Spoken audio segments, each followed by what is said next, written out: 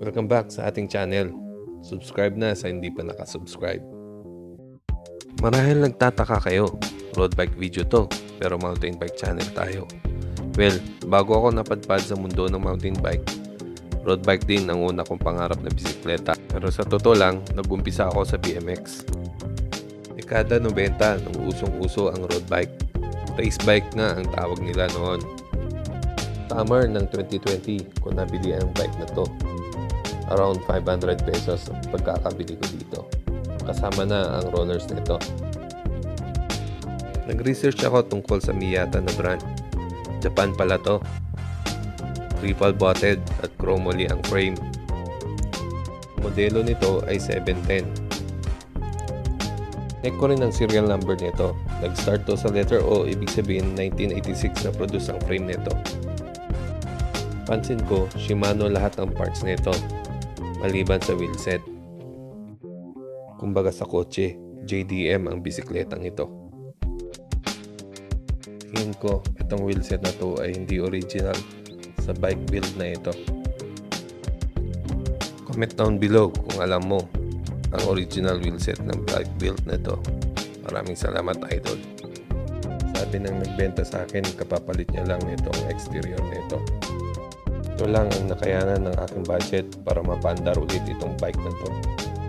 Dalawang Race 28700C, rim tape, Ultegra pulley, at bar tape.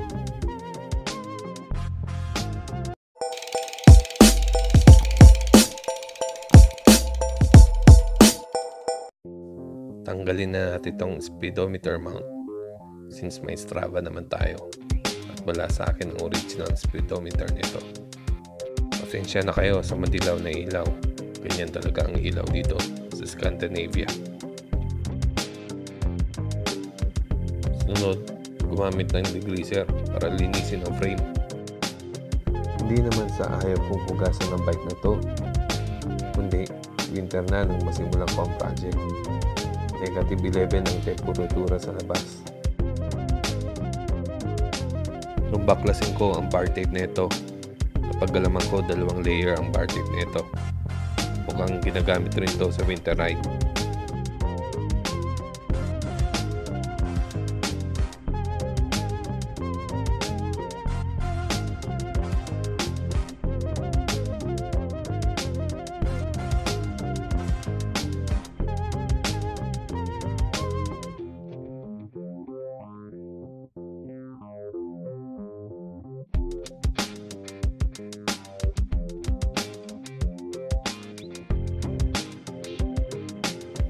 Sa summer ko lang naman balak gamitin ang bisikletang ito, pinaklas ko lahat ng lumang bar tape.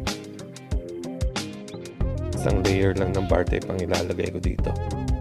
Tamang pang summer lang.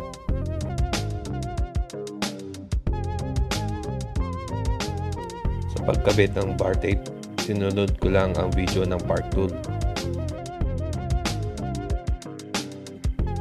Kaya kung bike tutorial lang naman ang hanap mo, subscribe ka na sa Park Tool.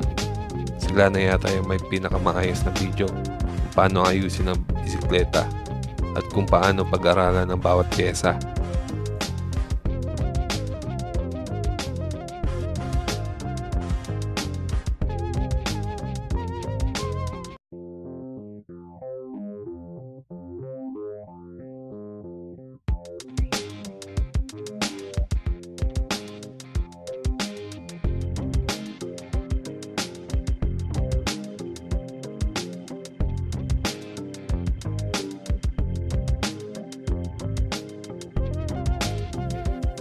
Yun, natapos din.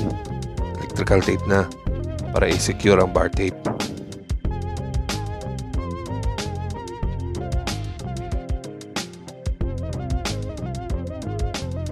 Ito naman yung finishing tape kasama to sa package ng bar tape.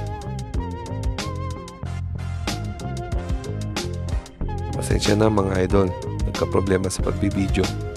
Nabaklas ko na dito yung lumang interior at lumang rim tape. Naayos ko na lang yung bagong rim tape dito. Ano naman, nakabit ko na yung interior at binabalik ko na yung exterior. Dito na lang mga idol.